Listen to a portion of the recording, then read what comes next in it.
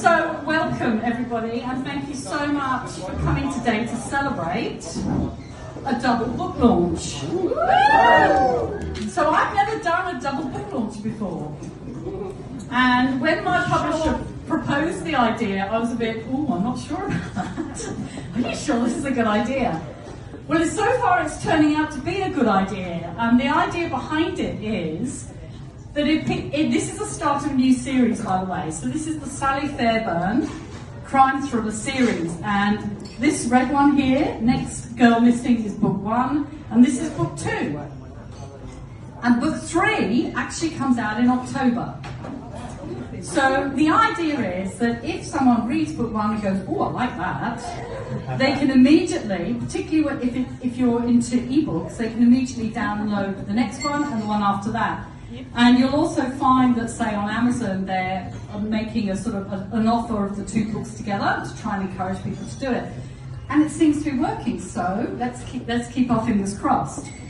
Um, so I just want to talk to you a little bit about the Sally Fairburn series. So this series is set in America, in an imaginary city called Franklin. And I was recently interviewed by somebody in America for a podcast, and um, she said, So, let me get this right. So, you were born in England, but you live in Australia, and you set the books in America. What's that all about? Um, I set books, as you probably know, all over the world. Some have been in Antarctica, some have been in England, some have been in Australia. Um, and I was particularly interested in setting these particular stories in this city that I made up. And I made it up because it gives me the freedom to have lots of spooky environments and dangerous cliff faces and you know, scary forests wherever I want them to be. So there is a joy of actually not creating it in a real environment. But then the onus is on me is to create that environment. So Sally Fairburn um, is um, used to be a cop and she became a victim support advocate.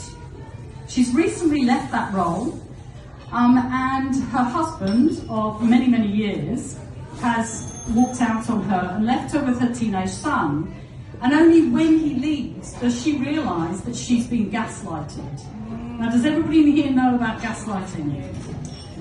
Um, I started um, reading some books about gaslighting and true life stories about particularly women, but also men who have been gaslighted, and how they've been manipulated and how their self belief has been taken away from them, how they no longer trust their own judgment.